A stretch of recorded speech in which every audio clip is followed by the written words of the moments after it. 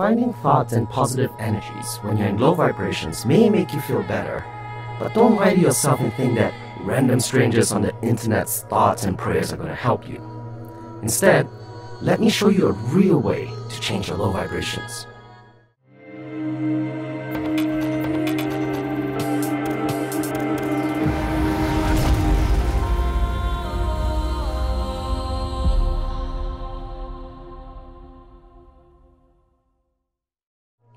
Namaste, Sacred Masters. I'm Dr. Aiwass Ukehi, Certified Shadow Work NLP Manifestation Coach, and today we are going to talk about changing your low vibrations. Now, it is the universal law that we will all feel like we are in low vibes. But asking for thoughts and prayers and sending positive vibes your way is not going to help you. But if we were to understand two laws of the universe, we can use it to really change our lives around. But first, Let's talk about these low vibes and what it specifically is, so that after we define it, you will know if this video is right for you. See, in my forums I visit frequently, I see a lot of people posting about being in low vibrations and need help getting out of it. They ask for thoughts, prayers, healing energy for situations such as losing a job, losing a specific person, or even their apartment. This causes them to have anxiety and feel generally terrible emotionally. We have all experienced these sort of things. But as I said in a previous video, you're not going to find answers with people who are counting on your low vibes to sell you a product or a course. Which is why, let me turn this situation around and give you a real solution. From the most powerful person to be able to fix your low vibes feelings, yourself. We will split this solution up into two stages. So please make sure you watch the entire thing and not just one part. You will need both to work and just stay attentive to this. So you may not know where this is going to lead, but I'll explain how it all comes together at the end. First of all, let us start by talking about these low vibrations you have. We'll use this scale of consciousness chart to illustrate it. See, everybody who feels within the bottom part of this spectrum considers it to be low vibe. From the very bottom, we have shame, guilt, apathy, greed, desire, anger, pride, and eventually going up to more positive energies. Now sure, we can call them low vibrations because by definition they are placed low on the spectrum, but we also say the word low, not to just describe the position of the vibrations, but we use the word low to describe feelings we don't want to have. Now let's understand this enemy better, so you have the right tools and strategies to conquer it.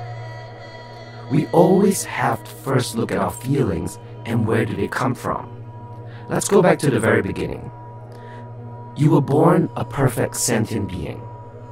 Every baby, when you look at it, is perfect. They are not only cute, but there's so much love and joy that comes from them. However, babies also have the ability to feel fear, anger, and guilt as well. Ever since the day we were born, when we cry of hunger, we are soothed and fed. This is a nice way that your primary caregiver, mom and dad, show you that low vibrations are not a good thing because they are immediately there to feed you. As you grow older and are able to start communicating, when you show these emotions, they begin to discipline you and scold you. So what happens is that since the day you were born, you were already programmed to see these low vibrations as bad. And because of what you were taught, when they arise within you, you feel terrible. Because you learn to associate these vibrations as bad, bad, bad. Step one of getting out of low vibration is to start understanding that the feelings you have within you are not yours but actually programmed into you by your social, tribal, and familial surroundings. So what you are actually feeling is not the real authentic you, but rather you following what others say. But I'm sure you're saying now, well, there's no way that losing a house or a spouse or money can feel good, whether programmed or not. Absolutely. But bear with me, things will get interesting soon. Before we come back to this vibrational chart, I'm going to introduce to you two laws of the universe first. You're going to have to know these laws before we come back to it and change your low vibration. The universe works under 12 distinct laws. The most common one, which you have either heard of or practiced, is the law of attraction. But there are 11 other laws, and the two we will use today is the law of polarity and the law of perpetual transmutation. If you want to find out more about these other laws, you can click on the link above or on the description box below. But for this video, these two laws are the most important ones to use for now. Let's start with the law of perpetual transmutation. This law plainly states that energy can neither be created or destroyed. It changes from one state to another, transmuting in and out of form. When you understand this law, you know what I mean when I say thoughts and prayers do not work. There's no harm in asking for them because it feels good to know others care for us. Just know that it will do nothing for you. Trying to destroy your low vibes is similar to just putting on rose-colored glasses and ignoring the situation. And the more you tell yourself that good things are coming, the more rose-colored glasses you put on, the more the situation will get worse and worse. You're just lying to yourself. Instead, based upon this law, the only solution is to transmute this energy from low vibes to high vibrations, which I'm going to show you how in a bit because you need to understand the law of polarity first. What the law of polarity states is that everything has two poles, positive and negative, love and hate, good and evil, attraction and disconnection. You cannot have one without the other. Once you accept it, you can stop beating yourself in your head and wondering why is bad things happening to you now. It is the law of the universe and you cannot change that. So once you accept that low vibrations exist with high vibrations, let's go back to our chart now and see how we can take what we learn and transmute this energy. So, a lot of you will look at this scale of consciousness and see low vibrations as undesirable and high vibrations as desirable. We know that this is due to our social conditioning, and with the law of polarity at work, we see this as good and the bottom part as bad. But now we have to reprogram ourselves. Instead of seeing high vibrations as good, let's see it as giving. And low vibrations, we see it as creating. Let me explain. When we see low vibrations, our first instinct is to get rid of it and run far away from it as possible. For others, they try to get rid of these low vibrations by lashing out at others, such as yelling and screaming when you're angry, shutting down when you feel shame, etc. This is why shadow work is important.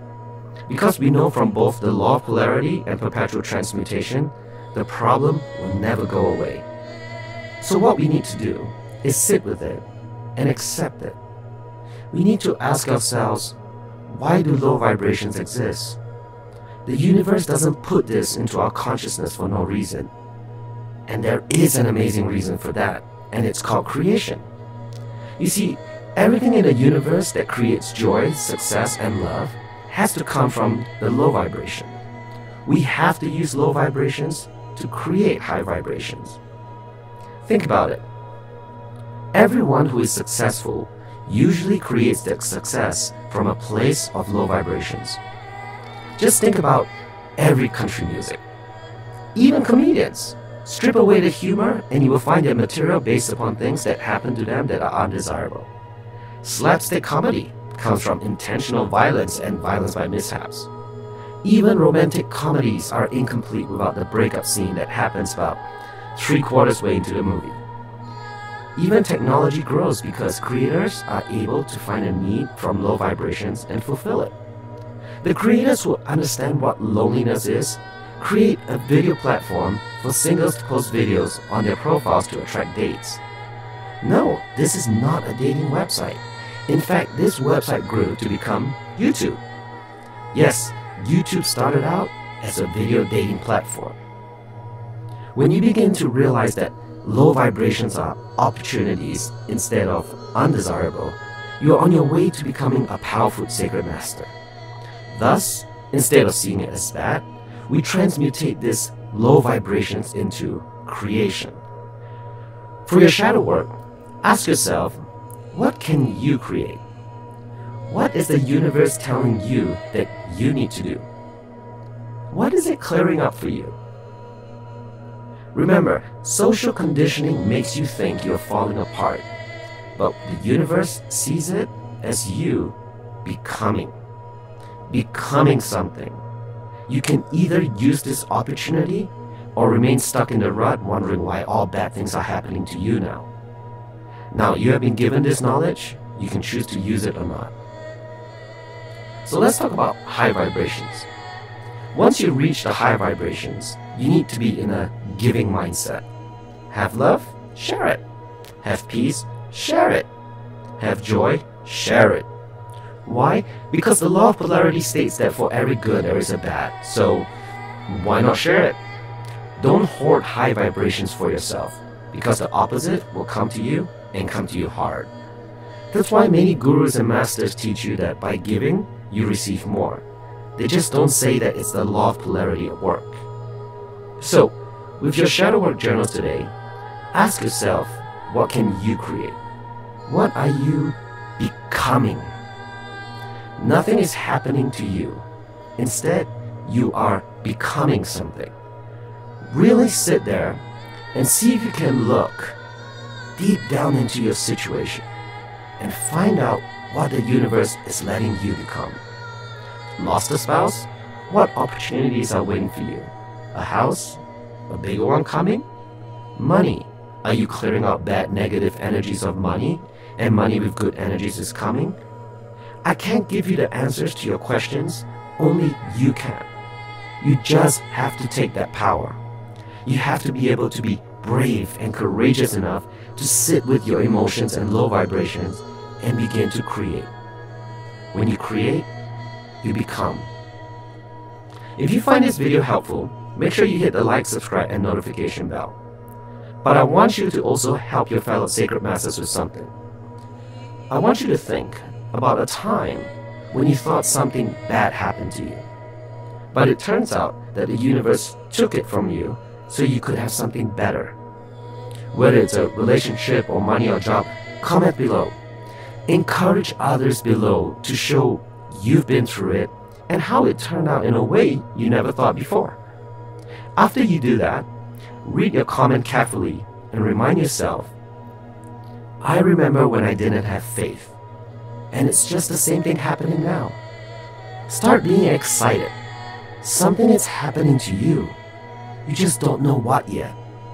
If you are excited about this opportunity looking at you in the face now, wait till you watch this video on how to manifest during low vibration. Yes, you can do it. Even though you've been told to manifest during high vibes, you can manifest with low vibes too. In fact, you are always manifesting. I'll show you how. Click the link.